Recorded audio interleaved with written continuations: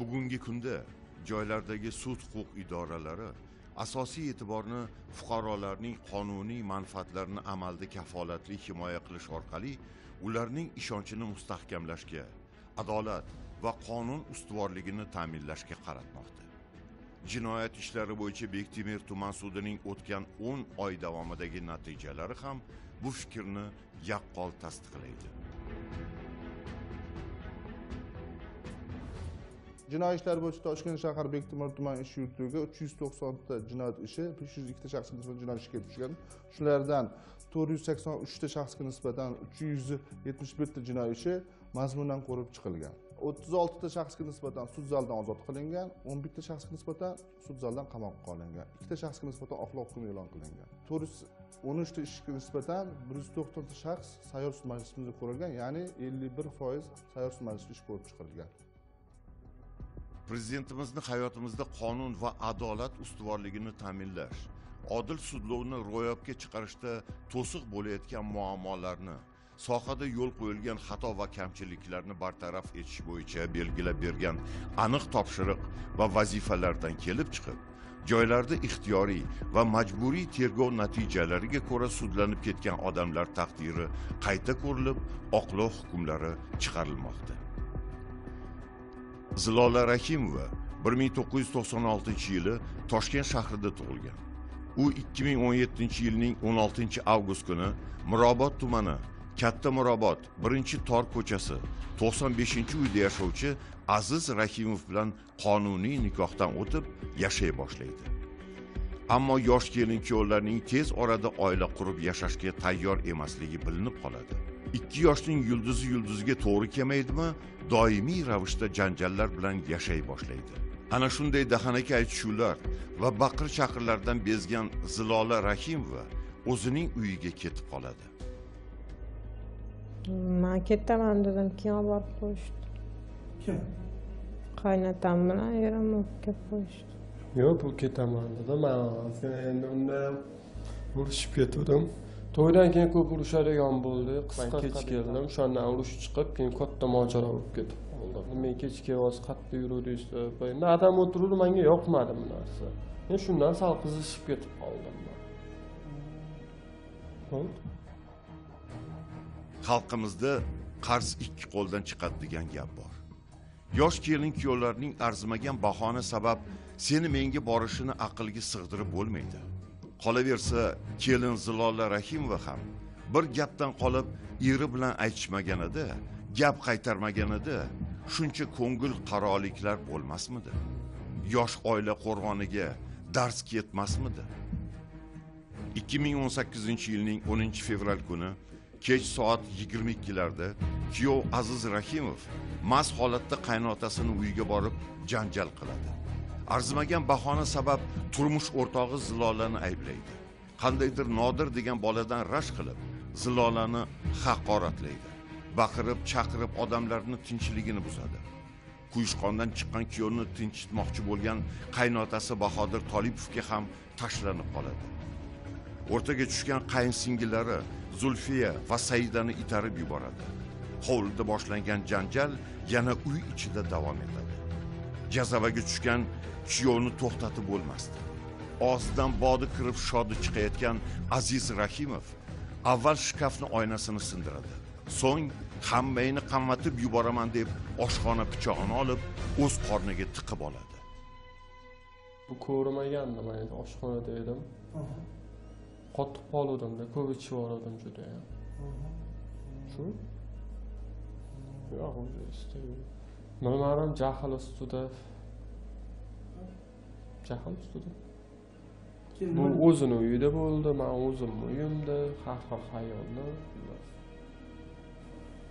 shunaqada hamma narsani o'ylagandan keyin haqiqatni gapirib hozir mana sekin yaxshi yashayapman.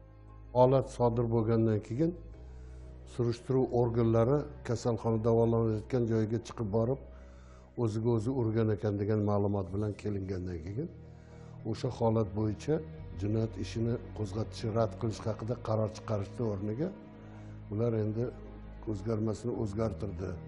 Boshqa deb ilburtdan e, vaqtlik jinoyat ishi qo'zg'atib qo'yilganligi.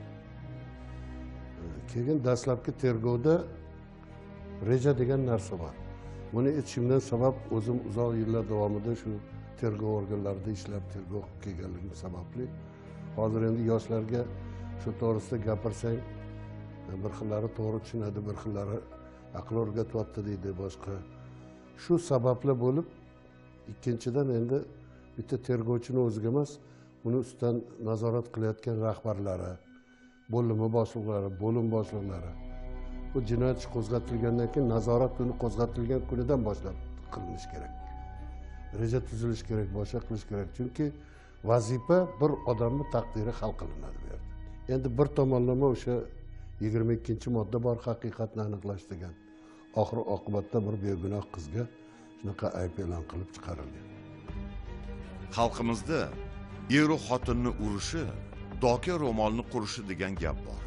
Bo'lib o'tgan voqealar bosti bosti bo'lib kelin kuyovlar yarash yarash bilan bir birini avaylab yashayotganda aziz rakimovni onasi komila inoyatova turkiya davlatidan kelib hamma yoqqa ayyuhannos solib kelini zilola rahimovani ustidan sirg'ali tumani prokuraturasiga ariza yozib beradi. Kelinim o'g'limni pichoqlab qo'ygan degan ma'noda. Tuman ichki ishlar bo'limi xodimlari voqeani asl mohiyatiga e'tibor bermay kelin zilola rahimovaga nisbatan o'zbekiston respublikasi jinoyat kodeksini bir yuz to'rtinchi moddasi birinchi qismi bilan jinoyat ishi ochib tergov harakatlarini boshlab yuboradi.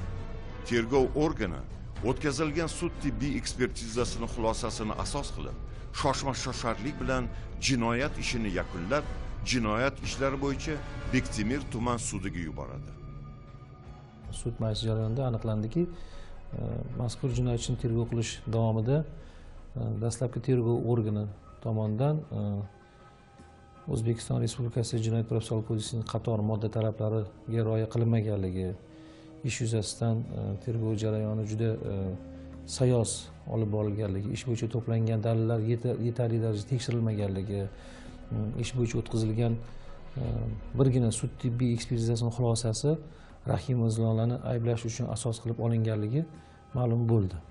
Sud tomonidan bu borada bir qator e, protsessual harakatlar o'tkazildi sud tergovi davomida ya'ni ish bo'yicha e, guvohlar doirasi kengaytirildi. Qariyb yigirma olti nafar guvoh va qo'shimcha guvohlar so'roq qilindi. Shuningdek e, sud majlisida ish bo'yicha dastlabki sud tibbiy ekspertizasini o'tkazgan ekspert so'roq qilinib uni ko'rsatuvlari hamda uni tomonidan berilgan xulosa sudda shubha uyg'otganligi sababli ya'ni ilmiy asoslanmaganligi sababli sud tomonidan э, ish bo'yicha qayta sud tibbiy ekspertizasi tayinlandi.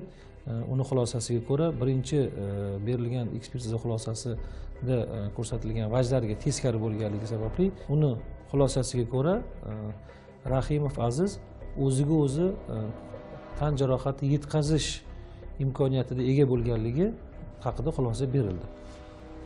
Ha inson qadri va sha'ni har narsadan ulug' sud tergovi davomida o'nlab guvohlar so'roq qilindi. Qayta qayta sud tibbiy ekspertizasi tayinlandi. Sud taraflar fikrini eshitib hamda ushbu qasddan badanga og'ir shikast yetkazish jinoyatini zilola rahimovani sodir qilishda aybdorligi bor yo'qligi bo'yicha ish holatini sinchkovlik bilan har tomonlama to'la va xolisona tekshirib zilola rahimovani ayblash uchun yetarli dalillar mavjud bo'lmagan bir paytda dastlabki tergov organi tomonidan unga nisbatan o'zbekiston respublikasi jinoyat kodeksining bir yuz to'rtinchi moddasi birinchi qismi bilan barvaqt ayb e'lon qilingan deb hisoblaydi.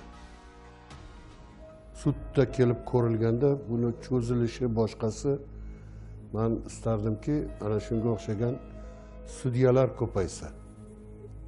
Juda bir yosh bo'lishiga qaramasdan shunga to'g'ri qonun tarafdan to'g'ri yondoshib qancha qancha qo'shimcha guvohlarni so'roq qilindi. O'sha kasalxonaga выездной bo'lib chiqib o'sha yerda shu holat bo'yicha shu yigitni davolagan birinchi tez yordam ko'rsatgan vrachlar xirurglar bilan hammasi bilan suhbat bo'lib bularni so'roq qilib qayta ekspertizalar o'tkazib sud bir to'xtamga keldi. Bitta fuqaro oqlanib yana bularni oilasi saqlanib qoladi. Endi bir oila tarqalib boshqa ketishi mumkin edi.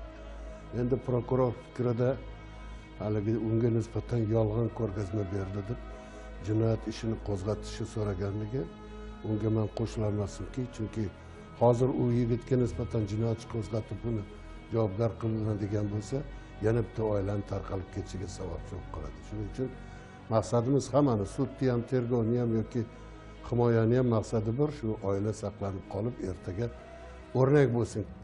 O'zbekiston respublikasi nomidan hukm. Jinoyat ishlari bo'yicha toshkent shahar bektemir tuman sudi.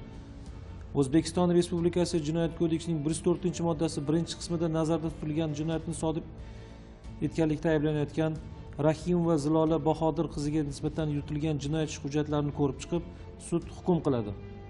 Rahim va zilola bahodir qizi o'zbekiston respublikasi jinoyat kodeksining bir yuz to'rtinchi moddasi birinchi qismida nazarda tutilgan jinoyatni sodir etganlikda aybsiz deb topilsin. Hamda ish qo'zg'atilgan tergov va sud muhokamasi o'tkazilgan ish bo'yicha jinoiy hodisa yuz bermaganligi sababli oqlansin. Rahim va zilola bahodir qiziga qo'llanilgan shaxslik kafillikka berish ehtiyot chorasi bekor qilinsin. Ish bo'yicha ashyoviy dalil deb e'tirof etilgan bir dona oshxona pichog'i tegishli tartibda yo'q qilinsin. Rahim zilola bahodir qizi reabilitatsiya qilinishi munosabati bilan yetkazilgan mulkiy ziyonni qoplash hamda ma'naviy boshqa ziyon oqibatlarini o'zbekiston respublikasi jinoyat protsessual kodeksining uch yuz to'rt uch yuz o'n ikkinchi moddalarida nazarda tutilgan tartibda da'vo talabi bilan sudga murojaat qilish huquqi tushuntirilsin. Hukmdan norozi taraflar hukm e'lon qilingan kundan e'tiboran o'n sutka ichida oqlangan shaxs jabrlanuvchi hukm nusxasini olgan kundan e'tiboran shu muddat ichida jinoyat ishlari bo'yicha toshkent shahar sudi apellyatsiya instansiyasiga apellyatsiya tartibida shikoyat yoki protest shuningdek hukm qonuniy kuchga kirgandan so'ng kassatsiya tartibida jinoyat ishlari bo'yicha toshkent shahar sudiga murojaat qilish huquqlari tushuntirilsin.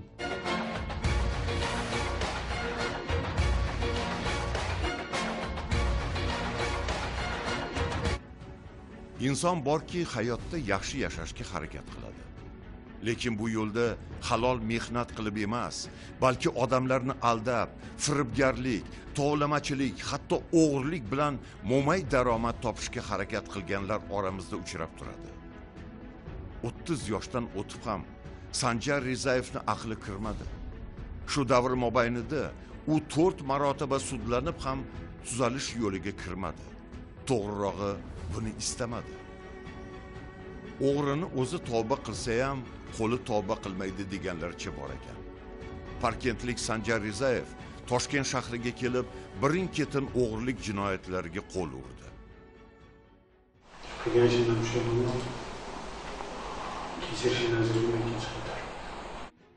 muqaddam to'rt marta sudlangan sanjar rizayev o'zgalar mulkini yashirin ravishda talon taroj qilish maqsadida 2018 yil 6 oktyabr kuni soat 13 larda toshkent shahar yashnobod tomonida joylashgan yangiobod bozoriga kelib avtobusga chiqayotgan fuqaro nigora ortiqboyevani qo'lidagi ayollar sumkasidan bir dona narxi 480 ming so'mlik samsung 2 rasmli uyali telefonini uning chalg'iganidan foydalanib kisavurlik yo'li bilan yashirin ravishda egallab voqea joyidan yashiringan.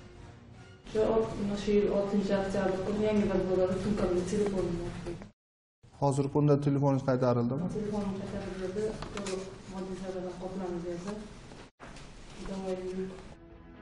bundan tashqari sanjar rizayev o'zining jinoiy xatti harakatlarini davom ettirib shu kunning o'zida ya'ni 2018 yil 6 oktyabr kuni soat 14larda toshkent shahar bektemir tumanida joylashgan toshkent qishloq xo'jalik mahsulotlari ulgurji bozori aksiyadorlik jamiyatiga qarashli bozorga kelib qo'yliq bozor abay mahalla yo'nalishi bo'yicha harakatlanuvchi damas rusumli transport vositasiga chiqayotgan fuqaro kamola mahamatovaning yelkasida bo'lgan sumkasidan bir dona narxi 1 million 200 ming so'mlik samsung g to'rt rusumli uyali telefonni yashirin ravishda egallab voqea joyidan yashiringan.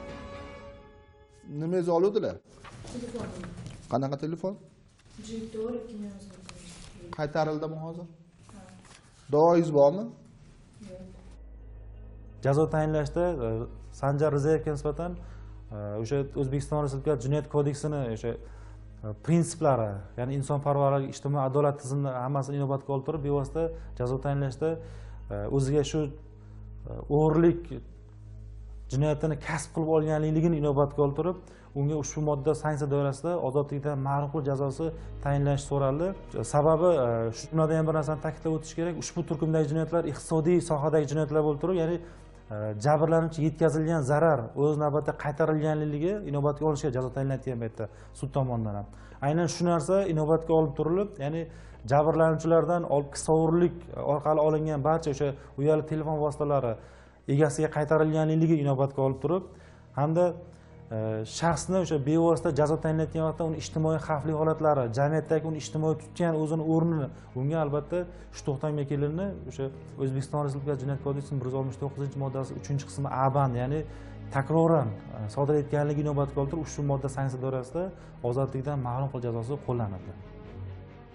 Sud sudlanuvchi sanjar rizayevni shaxsini aybiga to'liq iqrorligi va pushaymonligini jabrlanuvchining davosi yo'qligini qaramog'ida ikki nafar voyaga yetmagan farzandlari va keksa onasi borligini yetkazilgan moddiy zarar to'liq qoplanganligini muqaddam bir necha bor sudlangan bo'lishiga qaramay o'ziga tegishli xulosa chiqarmaganini qilmishi og'ir jinoyatlar turkumiga kirishligini jinoyatning xususiyati va ijtimoiy xavflilik darajasini yengillashtiruvchi va og'irlashtiruvchi holatlarni insonparvarlik va odillik prinsiplariga rioya qilib unga o'zbekiston respublikasi jinoyat kodeksining ellik yettinchi moddasini qo'llab hukm o'qildi.